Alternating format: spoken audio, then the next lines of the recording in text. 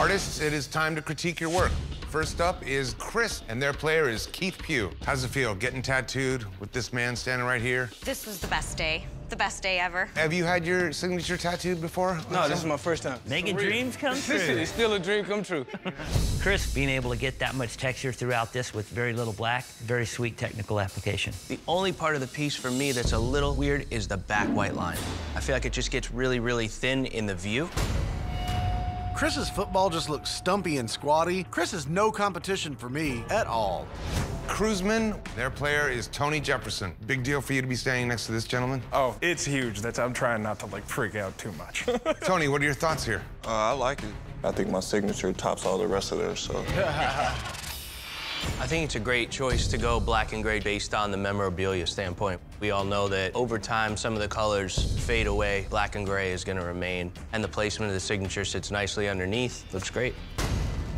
Duffy and her player was Darius Slay. It looks very slick and it comes out very clear. Technical application has a softer touch, photorealistic kind of feel to it. I like the light source on it. I love the way that the angle of the ball is placed. It looks like a nice collector's item. Congratulations. Matt and Allen Robinson. This tattoo came out very strong. The signature is very different.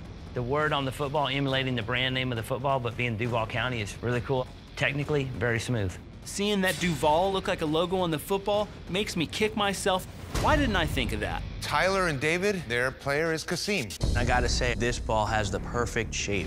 It's equidistant on both sides. Stripes line up perfectly. The stitching lines up perfectly. I think you did a great job, man.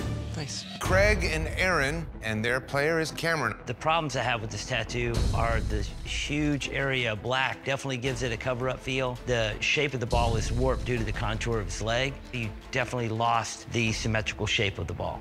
Craig does his own thing, keeps doing weird ass colors, and it's gonna bite him in the ass. Line work. I'm really nervous about this one. But there's more. more. Which is? There is no better test of your finesse than tattooing.